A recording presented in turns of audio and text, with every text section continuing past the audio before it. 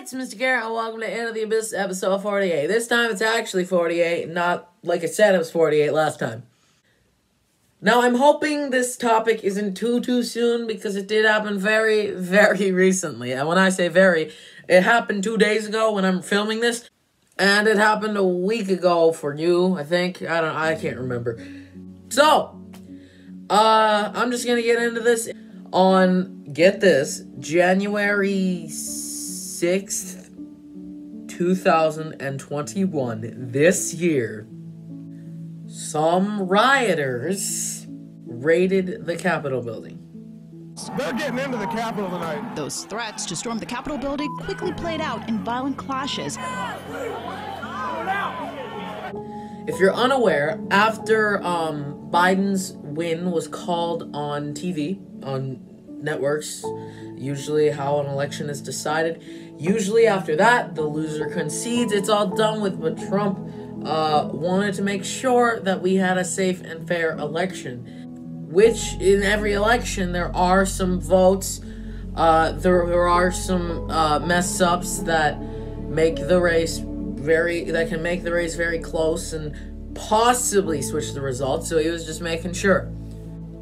Some protesters, I can't even call them protest. I have to say rioters because technically they're not protesters anymore. Some rioters were not happy. Our electoral process, if you don't know what that is, I'm not going to explain it because that will make this video three minutes longer than it has to be.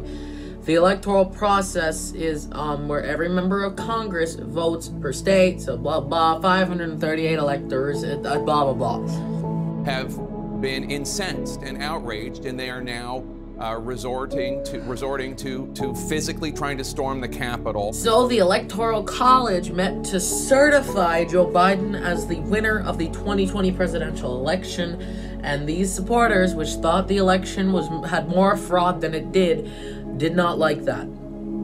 They were going. They went to the United States Capitol where the Congress was voting, and they were able to break their way inside. There, there were breaches in the House chamber.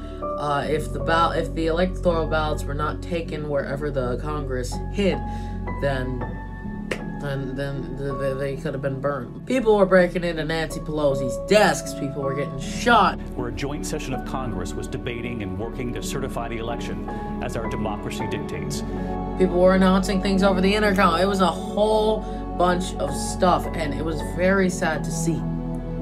In the end, four people died. The rioters were condemned.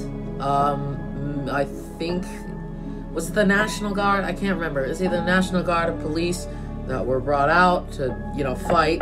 They had shields. They were prepared. Those guys were scary. I wouldn't mess with them. So yeah, that was two days ago when I'm recording this, but like seven days ago when you're watching this. Peace.